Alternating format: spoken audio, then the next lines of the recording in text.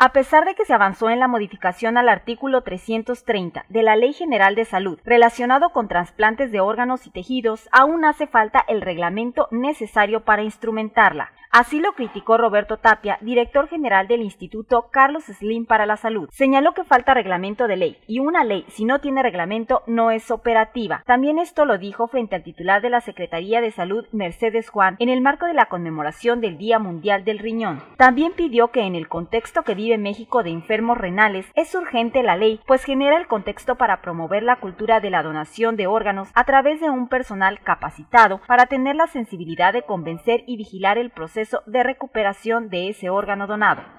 Lamentablemente la estructura administrativa impide el contrato de estas personas, dijo luego de llamar a romper los mitos de corrupción y malos manejos de trasplantes. Aseguró que los pocos hospitales que logran que llegue el equipo de recuperación de órganos, este lo hace por voluntad, pues la mayoría no están patrocinados. Agregó que no hay equipos, que requerimos encontrar estímulos a esos médicos anestesiólogos, enfermeras, para que se vayan a esa recuperación del órgano.